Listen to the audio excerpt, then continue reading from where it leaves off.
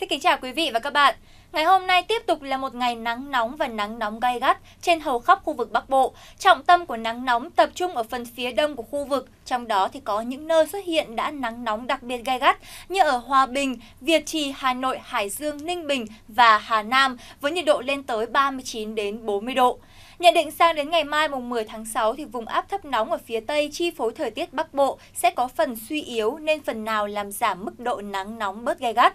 Tuy nhiên thì nắng nóng sẽ còn tồn tại với mức nhiệt độ trong khoảng từ 34 cho đến 37 độ. Cục bộ còn có những điểm nắng nóng gai gắt với nhiệt độ trên 38 độ. Khoảng vào chiều tối và đêm mai thì hội tụ gió trên cao khả năng thiết lập trên khu vực vùng núi Bắc Bộ sẽ gây ra mưa rông diện rộng, rải rác trong điều kiện nhiệt độ ban ngày khá cao. Đến chiều tối thì có những điểm có thể xuất hiện mưa rông mạnh kèm theo xét, lốc, mưa đá và gió giật mạnh nguy hiểm. Quý vị cần hết sức lưu ý để bảo đảm an toàn về người và tài sản. Sang đến ngày 11 và ngày 12 tháng 6 ở tại vùng núi Bắc Bộ, mưa giảm nhanh, nắng nhiều hơn. Trong khi đó thì vùng đồng bằng vẫn phổ biến là ít mưa, nhiệt độ toàn khu vực lại có xu hướng tăng lên cùng với mức độ nắng nóng gai gắt gia tăng trở lại. Mức nhiệt cao nhất ngày lại tăng cao lên ngưỡng từ 36 cho đến 39 độ, về đêm dao động ở ngưỡng là từ 27 cho đến 30 độ. So với khu vực Bắc Bộ thì nắng nóng ở miền Trung còn khắc nghiệt hơn. Tại đây do gió phơn khô nóng thổi mạnh khiến cho nắng nóng và nắng nóng gai gắt vẫn còn tiếp tục trải dài, từ Thanh Hóa trở vào cho đến tận Phú Yên, với mức nhiệt từ 37 đến 39 độ. Riêng một số nơi thuộc vùng núi phía Tây có thể đạt ngưỡng nắng nóng đặc biệt gay gắt, với mức nhiệt là từ 39 cho đến 40 độ.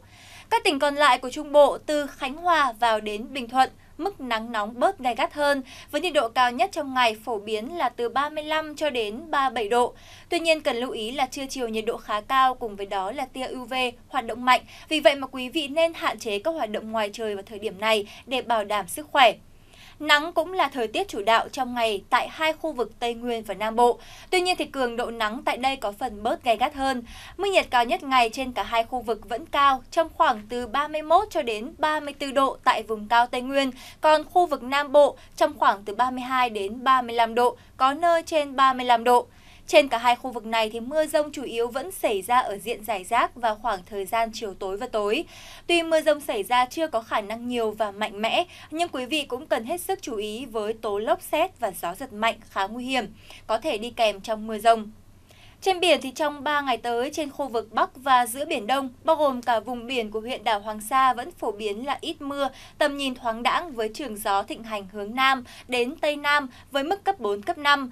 Còn tại vùng biển phía Nam Biển Đông bao gồm cả vùng biển của huyện đảo Trường Sa, tiếp tục có mưa rào và rông diện rải rác, làm giảm tầm nhìn xa xuống chỉ còn từ 4 đến 10 km trong mưa.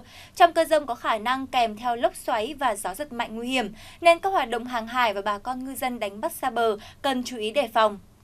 Bản tin thời tiết cuối ngày 9 tháng 6 cũng xin được khép lại tại đây. Cảm ơn quý vị đã quan tâm theo dõi. Xin kính chào và hẹn gặp lại.